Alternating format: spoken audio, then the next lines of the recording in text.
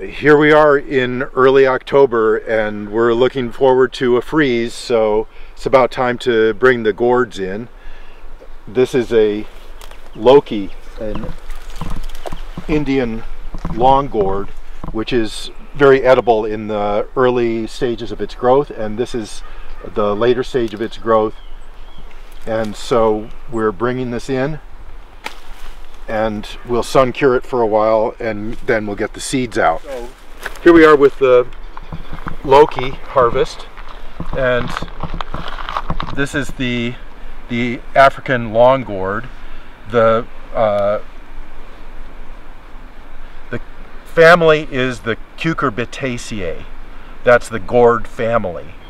The gourd family has about uh, very close to a hundred different genuses and almost a thousand different species and innumerable different cultivars. The gourds are among the oldest of cultigens. That is, they've been uh, selected and utilized by human beings longer than uh, most types of plants. Uh, the oldest archaeological evidence of the use of gourds is in Mesoamerica and South America and dates back about 10,000 years to uh, early settlements in the New World. So gourds actually have their gene center in Africa.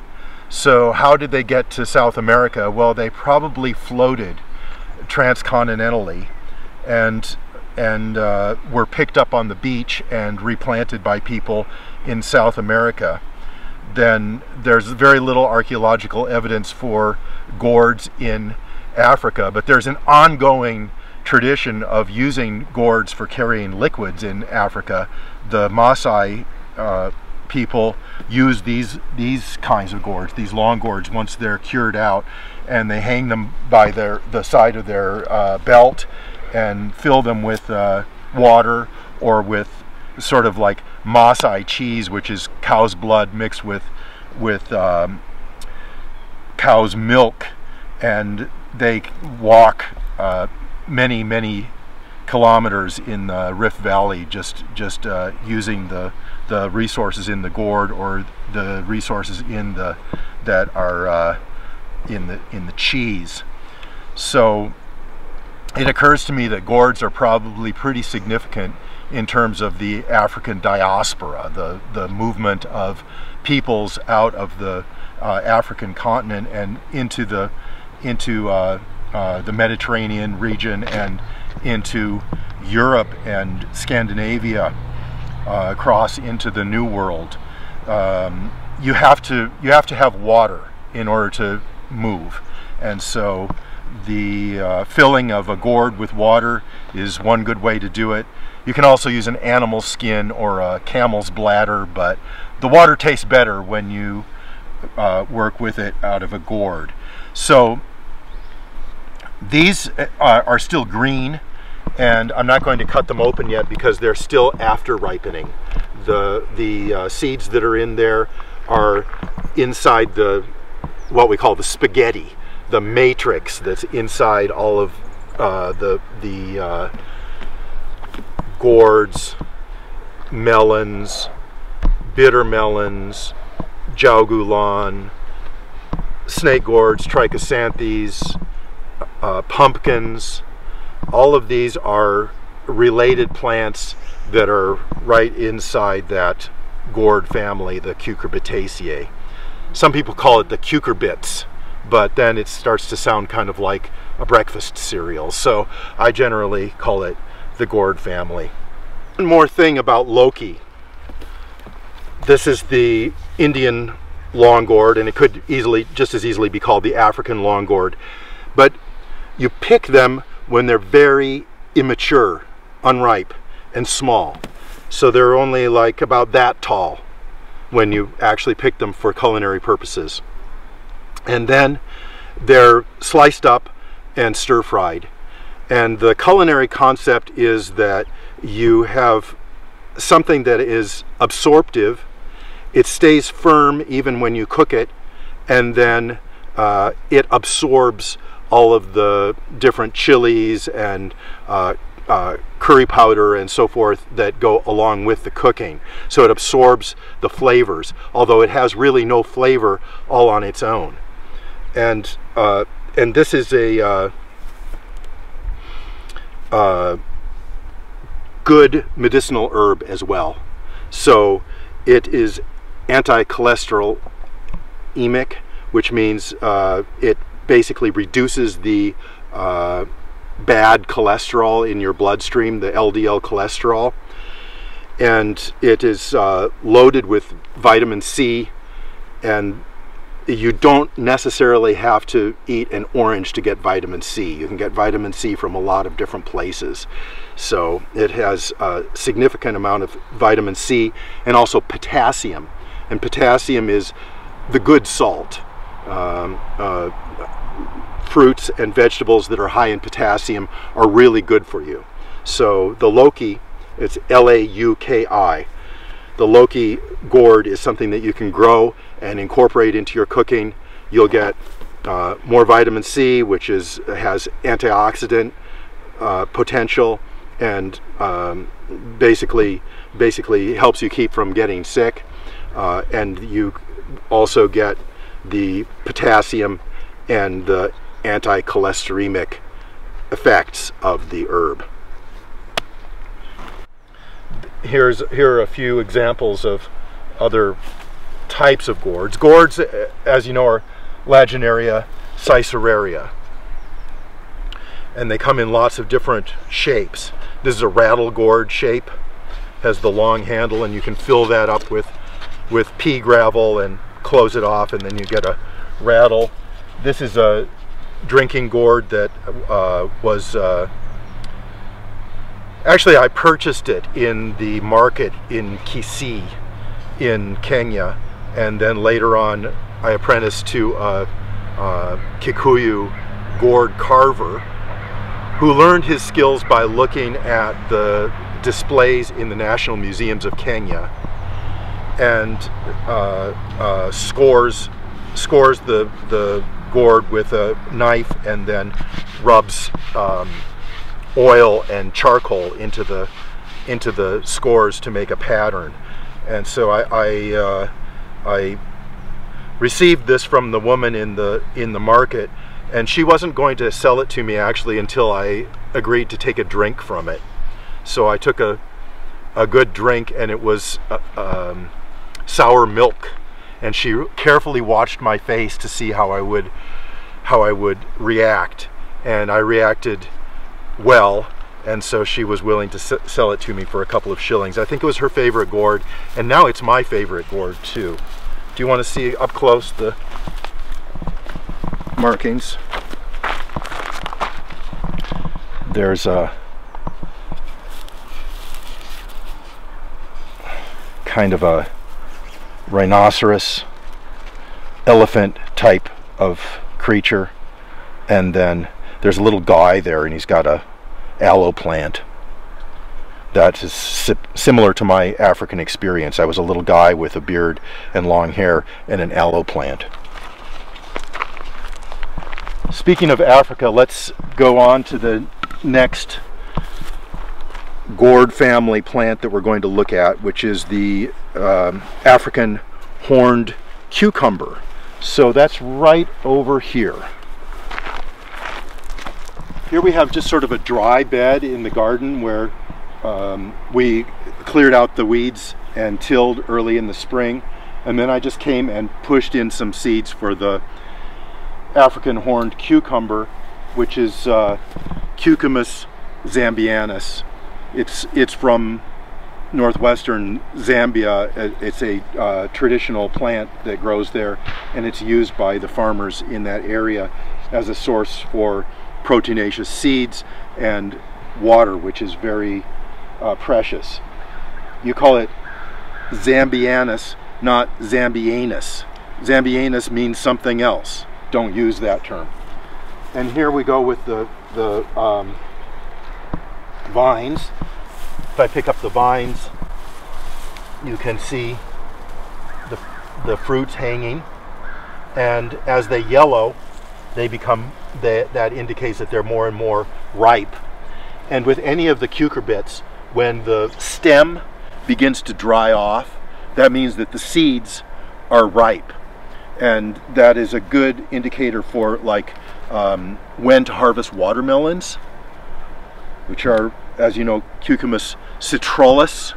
The different kinds of watermelon are all the same Latin, but there are lots of different cultivars. There's Moon and Stars, and there's Sugar Baby, all Citrullus luna, luna uh, Citrullus species. So then, here is our horned cucumber. Wipe it off a little bit so it's pretty, and get a. Can you get a close up on that? So then, when we cut it, now when you cut gourds and and um, cucumbers and so forth, if you want to save the seeds, you always cut from the stem down to the base, not this way. Because when you do it that way, then you don't cut the seeds in half because the seeds are are oriented in such a way that you get a better preservation of the seeds if you cut it laterally.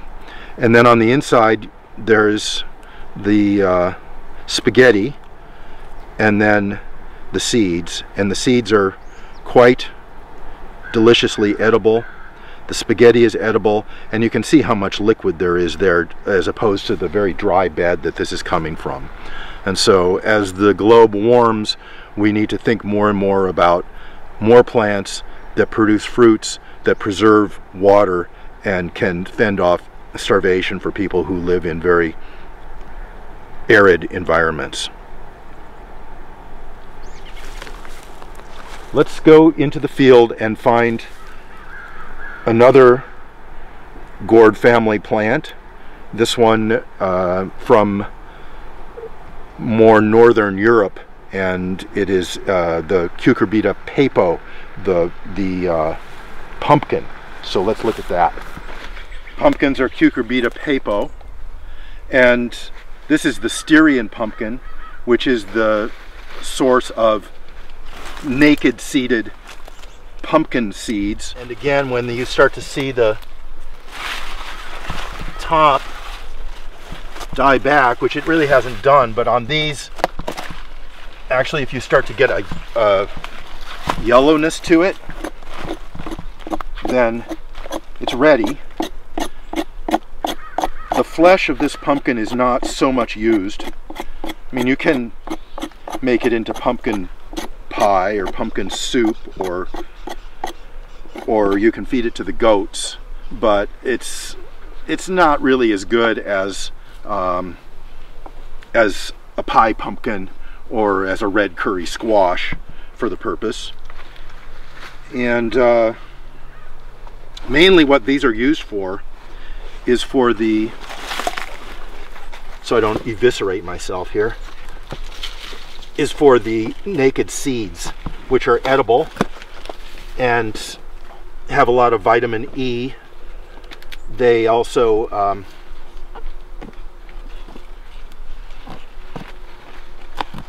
are a good treatment for BPH, benign prostatic hypertrophy, which is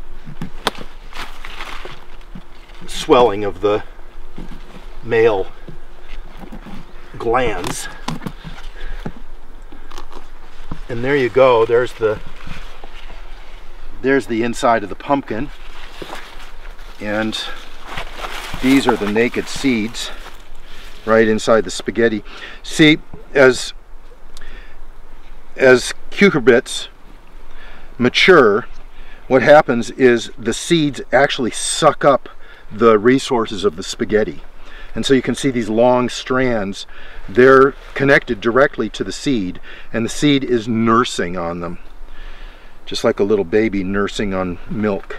These can be dried and eaten as is, or they can be briefly oven roasted with salt, and they make a great trail mix and they're highly nutritious and will last for at least a year in storage. So this is a good protein source for the temperate garden because it's easy to grow pumpkins and the pumpkins produce these very delicious seeds that have no hulls on them so you don't have to peel it before you eat it. Styrian pumpkin. So here we have the wild buffalo gourd. Those of you that live in the American Southwest will recognize it as a roadside weed. It has these sort of trowel-shaped leaves, very characteristic, and smells uh, slightly fetid. So the Latin name is uh, Cucumis fetidissima, or the foul-smelling cucumber. And then buffalo gourd is one of the common names. There's one of the gourds right there. They're really pretty. They're a source of plant saponins. And so these are traditionally used for making a soap and they can be uh, cut this way and used for scrubbing the floor. Like that. Those are free floor scrubbing sponges. And what we could do is we could do a little experiment. We could take some of the internal parts of this and put it in a jar with some water and shake it up and see if we get any suds. So let's do that. I took the buffalo gourd, I cut it up a little bit, scooped out some of the innards and put it in water and now we're going to shake it to see if we get any saponin reaction. And sure enough, we're making soap. And so this is uh, in medicinal herbs, saponins are known to um, dispel toxins. And so you have something like chickweed that you take in the spring that helps dispel the toxins of winter. It's full of saponins. And uh, um, I'm thinking now of another cucumber family plant or uh, gourd family plant that is called Trichosanthes. It's the snake gourd, and that uh, is very famous for dispersing toxins. So we're going to go look at that next, right after we wash the floor. The um, snake gourds, the Trichosanthes kirillowii, right uh, on the edge of the shade house where we do the potting up for our plants to crawl up and go over and create additional shade, which was much appreciated this summer. So not only uh, can the gourd family plants give us water in the off season, but they can also give us shade during the middle of the summer.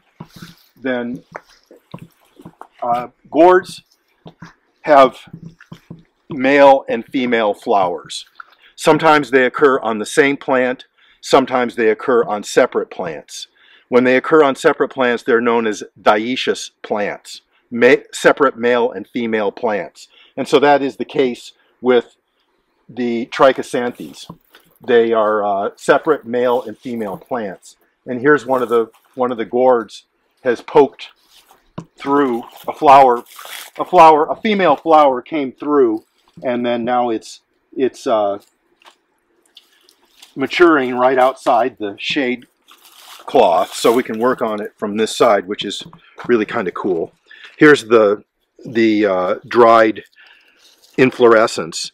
And you can always tell the female flowers because they have a like a mini a mini gourd underneath them. The male flowers don't have any uh, any uh, fruit hanging down whereas the female flowers do. And so we'll give this a cut, it's still it's still quite green, but usually these have a pretty nice color, so I thought I'd show you that. There's the extraordinary color of the spaghetti on the trichosanthes. And this is one of the uh, Chinese herbs that spells heat. And so it's used as an antitussive for treating uh, cough and especially when the cough is uh, accompanied by a yellow phlegm or a yellow sputum. When people come to me with a cough, I often ask them, well, what, you know, what color is your spit? And if they say that it's clear, then a lot of times that's they're they're having a cough because they're allergic to something. But if it's a yellow sputum, then that means that there's infection involved, and so you need to disperse that infection. And and this is uh, sort of a doctrine of signatures. The the yellow uh, spaghetti is like the yellow sputum, and in Chinese uh, uh herbs, you get different names for different herbs that are all from the same plant. And this is the case. There are three different uh, Chinese herbs made out of the snake gourd. Uh, one of them is the is the seed, just the seed itself.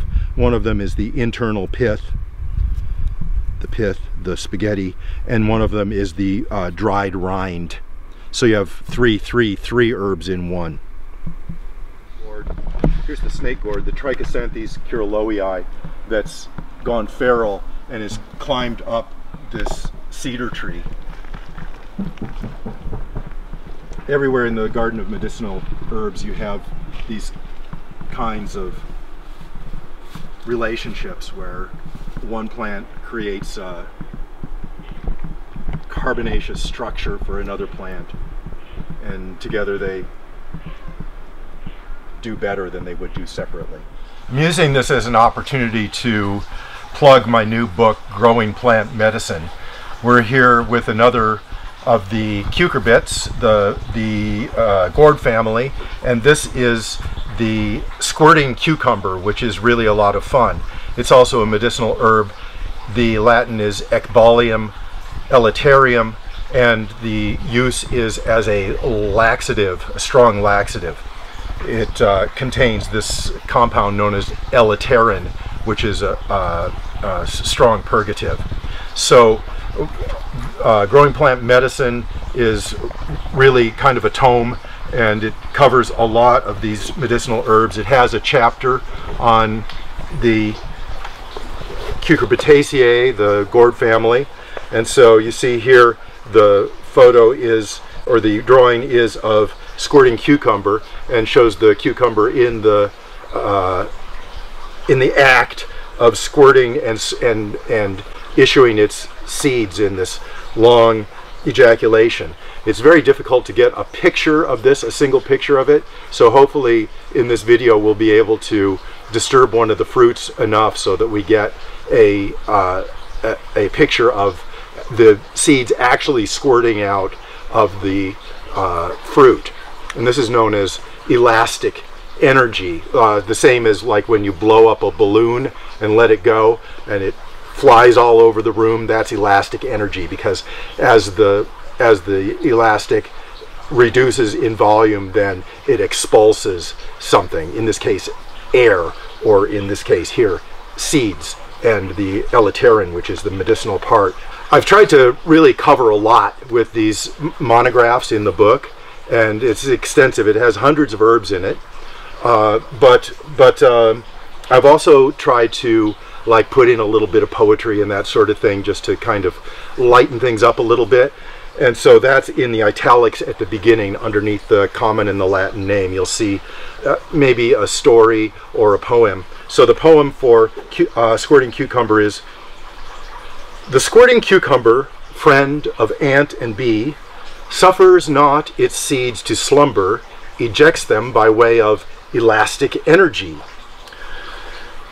A French doctor at Jardin des Plantes stored the stuff in the band of his hat, dared not stop for a croissant, had to hurry to La Toilette. So here we are at the plant, and I thought I would demonstrate how to collect the seeds. See, it is late in the season, so the plant is not really at its at its best. All these stubs here are actually uh, fruits that have already flown off, and when they do, they exp expunge their seeds. Here's a seed right here resting on a, a, a uh, partially desiccated leaf. And so the seeds will really end up anywhere. And uh, in terms of natural farming techniques, you watch what happens to the seeds in nature and then you mimic that to uh, cultivate the plant in domestic culture. So what happens here is the seeds end up, see there are some right there actually, there's one right there. They end up on the, um, on the gravel and then they gravitate down through the gravel and they end up on the mineral soil. They germinate there and then they send up uh, seedling through the gravel again. So that would be a good way to grow them. Another uh, point about this is that uh, um, the plant needs intense drainage. It exists in nature around the shores of the Mediterranean where there are calcareous soils and well-drained soils and also that uh, it is a uh, um, indeterminate vine. That is, the the plant just continues to grow and continues to to uh, establish itself. It never stops until it's stopped by frost. At that point, it senesces back down to the crown. People tell me all the time, "Oh, my squirting cucumber died," or "My echinacea plant died." They don't die this is natural for them in the fall to senesce back down to the crown. They're just going to sleep. Don't say that they're dead. That's really bad karma for you. So, and it's wrong. So uh, it will reawaken in the spring. It makes male and female flowers on the same plant. So separate male and female flowers, but on the same plant. And so these fruits then are going to be at, at the site where there was a female flower and I'm going to start to like mess with this a little bit and see what happens. Are you right in on it? As close as you can get. So this one looks a little salty so it must be close to getting ready to ejaculate. And there it went. Ah, that was really satisfactory. Did you catch it? I think so. Awesome. Okay, so what else can we say? Well, we're here in the environment. The uh, way to collect the elaterin is to use a piece of cloth and to actually train the uh, expulsion of the the seeds and the and the elaterin onto the cloth then you pick off the seeds, you dry the cloth in the sun, and then rub it like this, and the flakes of elaterin come off. A little dab will do you. So here we are, there are a couple more fruits over here, and we can demonstrate the way to harvest the elaterin. First of all, when you open this up, keep it pointed towards the cloth because when it goes, there's no stopping it. So those seeds are a little bit immature, but there's the elaterin right there. And here's another one. Oh. Okay. So that's the way you produce elaterin. You're going to let this dry in the sun and then flex it and those flakes will come off of there and that is the medicinal aspect in the fast draining area. We can grow a few other plants that are pretty showy. Here's a belladonna. That's Atropa belladonna. And there's the berry there that uh, you can see your own karma in that berry if you if you gaze at it long enough. Then another related plant in the Solanaceae, this is uh, Mandragora turcomanica. And this is an example of how we create environment for uh, uh, specific medicinal plants.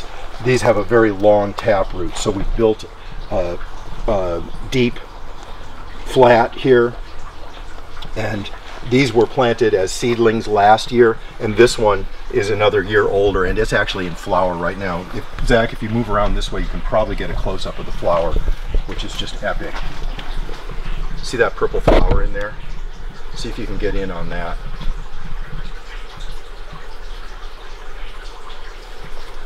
So all this is just to inspire you to diversify your cultivation of medicinal herbs. Learn some things that you haven't learned before. See some plants that are new. Find out how they act, what you can do for them, and what they'll do for you in return. Uh, Growing Plant Medicine is available on Amazon. It's available at the Strictly Medicinal Seeds website, www.strictlymedicinalseeds.com, and it's also available at herbalreads.com. Shipping from uh, Herbal Reads and from the website at Strictly Medicinal Seeds is free. Shipping from Amazon costs. So please uh, keep it close to home and tie into Strictly Medicinal Seeds or Herbal Reads and get yourself a copy. I'll sign it for you. Thanks. Wash the floor, wash the floor. This is the way we wash the floor so early in the morning. Wash, wash, wash the floor. This is the way we scrub the floor. Scrub the floor, scrub the floor. This is the way we scrub the floor early in the morning. Scrub, scrub, scrub the floor. It's going to take a little more.